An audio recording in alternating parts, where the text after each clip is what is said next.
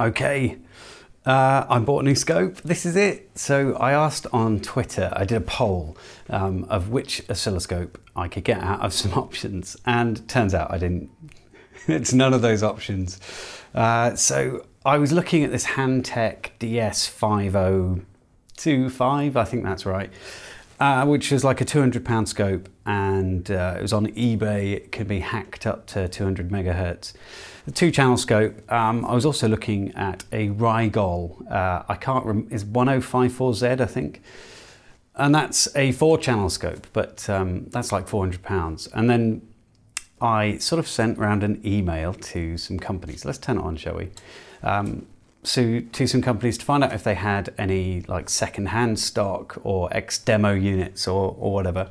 So I sent an email off to Keysight because they have their new 1000X, don't they? And um, I sent one off to Rigol. Uh, I sent an email off to uh, Siglent and another company that I now can't remember. But um, Siglent emailed back and said, yeah, they've got a, an X lab unit that they could send me. Um, and so this is it. Um, they didn't say, I, I paid for it. I bought it for 170 pounds, including the, the cost of doing a direct bank transfer abroad.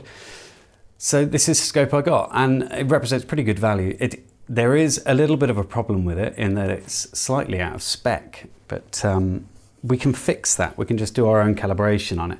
So I'll show you. Uh, I think I've got it set up weirdly here, but uh, I don't even know what channel. Oh, it's on channel. Let's just do auto setup. And we'll throw this on channel one.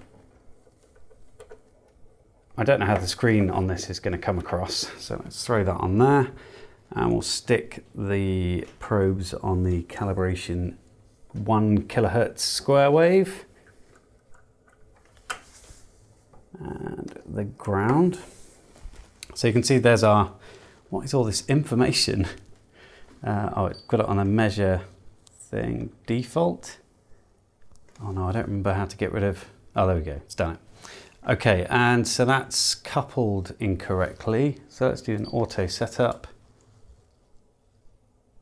It's beautiful, isn't it? I really like it. So I'll change the horizontal here. So can you see that there? So this is our um, this is our square wave. If I just throw the position, it's hard to do this with the camera where it is.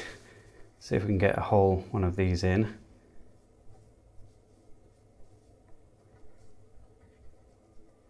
You see it's a little bit rounded off there, isn't it? Um, and the information I got from Siglent is that I need to nip inside, change some trimmer capacitors in there um, that are on the analog section. So let's just see if it, should we see if it's the same on, uh, on channel two? I don't know whether it's, see I don't know much about scope, so I'm not gonna try and claim that I know loads, but uh, I don't know whether I'm gonna have to do it on both or not. But um, as I recall, in my old scope, I had a little pot that I could turn or a little uh, tuning thing that I could turn on the, uh, the probe itself. So I'm going to put it on channel 2. Let's turn off channel 1. There we go. And I'll zoom in. Uh, why aren't you triggering?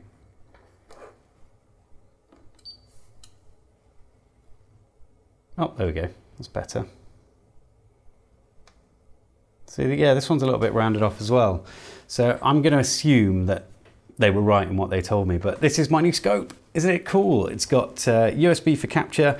It has an ethernet port on the back so you can remote control it, which is pretty awesome. It's only two channel. I'm not really worried about that. I've pretty much only ever used one channel on my scope and it's just to look at power supply noise um, or look at signals. Um, this one has serial decoding, UART decoding, um, and SPI, I think, um, built in. So no need to hack anything. I don't really know how it all works yet, so this is not a review. I'm just excited, so I thought I'd show you. Uh, but yeah, this is it. This is my new scope that I'm very excited about.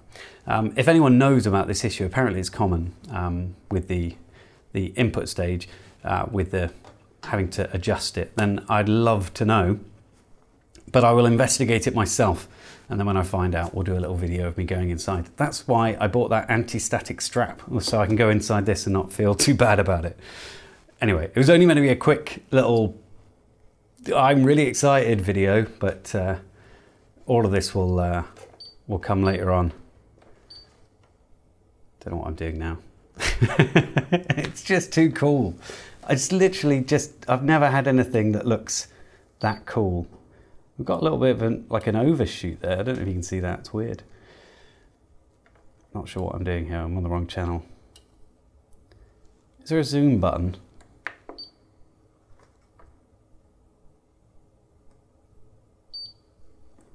Yeah, there is. I don't know, I'm getting carried away. Anyway, I just wanted to say, ah, there it is. All right, I'll speak to you guys later.